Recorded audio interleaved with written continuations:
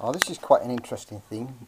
Manufactured in Hong Kong and sold by a company called Durham Industries based in New York comes this. Durham's Grey Ghost. Basically it's a plastic 8 ton German half track World War II. Quite a good representation of the model even though the paintwork and decals leave something to be desired. Not a rare thing, but it is rare to find one still on its card with the header. There's three versions of this turn-up in the UK. This one has freewheeling plastic tracks and it's push along. Another version is this one but with a little clockwork motor and an on-off switch. So it runs along in clockwork and the cheaper version is this one but the tracks are fixed and solid and underneath the bottom are two small plastic wheels so you can push it along. So there's three versions. And they are quite commonly found in the UK normally retail for about £20 but this one is rare because it still has its cardboard. Um, unfortunately when it was new in the kind of late 60s to mid 1970s they made sure that when it was sold, the vehicle is in the box as a piece of cardboard and underneath the vehicle is like a hole and going through the cardboard is like a plastic turnkey. In order to get the vehicle off the header card and display base, you see you may think there's nothing holding it in place because you can turn it upside down it won't drop off but underneath there is a little turnkey and in order to get the vehicle off as it says there to release item turnkey inside platform. Unfortunately the little plastic turnkey is all the way down there. You can just see the end of it there. There's a plastic key. In order to get that key to get your fingers around that key you have to physically rip open the box in order to get it. Now this one, although the sellotape or scotch tape has been cut, the turnkey has not been turned and the vehicle has remained on its card since it was new and that what, that's what makes it rare. The vehicle you can find in the UK but you can never find them with the cardboard base and the really nice header card still intact. Really nice artwork the Germans.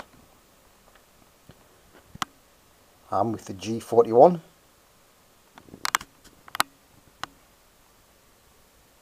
really nice artwork. And the vehicle it's what? Round about 135 scale 7 inches long. The tarp is fixed in place with glue. Front wheels separate rubber tyres. And as we come along that's a revolving plastic wheel. The rear inner wheels are one piece mouldings moulded onto the bodywork. That's a movable wheel that's a movable wheel that's a movable wheel and that's a movable wheel. But all the other ones inside are fixed as part of the bodywork. As we come around the front it's not a bad representation of the actual vehicle but the decals are a bit pants. And again as we come around the back you can see this solid bit on the bottom. That's where the clockwork motor would be in the clockwork version. And around the other side this particular one I paid the princely sum of £5.99 pence. Complete bargain so that'll go nicely in the military display. Um, Durham's, as it says in the box, a freewheeler by Durham Industries Incorporated, New York, New York, made in Hong Kong. Now Durham Industries was an importer and they had things like this made in Hong Kong, they would import them into the States. If you have those um, kind of imitation bronze um, ornaments with which which incorporate pencil sharpeners. Like you know, you get motorbikes, you get trains, you get globes, um, a whole manner of things. Uh, you know, washing machines, things like that. Little ornamental things that look like doll's house furniture in kind of an imitation bronze colour, but they have uh, pencil sharpeners in them. Well, Durham Industries in the States imported those into America. They didn't make them because on the bottom of them it's got made in Hong Kong. But that's the kind of thing they imported. They also imported a few toys. I think this was the only military vehicle they did. Now, unfortunately, Durham Industries fell foul of the Tomy Toy Company in 1979 because, among other things, um, Durham Industries started selling or importing rip-off versions of certain Tomy toys. Now, probably they didn't know it at the time, but in Hong Kong, there was being made knockoffs of Tomy robots, dolls, and the then Tomy range of uh, Disney figures. Durham Industries imported them in America, into America. Tomy went, hang on a minute, these look like the things we're selling, but cheaper versions. Tomy took them to court in 1979, and I think they won. Um, because I think Durham's disappeared 80, 81-ish. But this is probably the only military vehicle they did. They, they imported things like little Porsche cars and things like that, so they did quite a few car ranges, but I think this is the only military one they did. And it is quite a nice vehicle. So do keep an eye out for them. They don't cost very much, but to find one on its original card is quite a rare thing. No steering wheel, was never fitted with one, but it is a good representation of the actual vehicle and it's never been off its card base. So that's the Durham's Grey Ghost.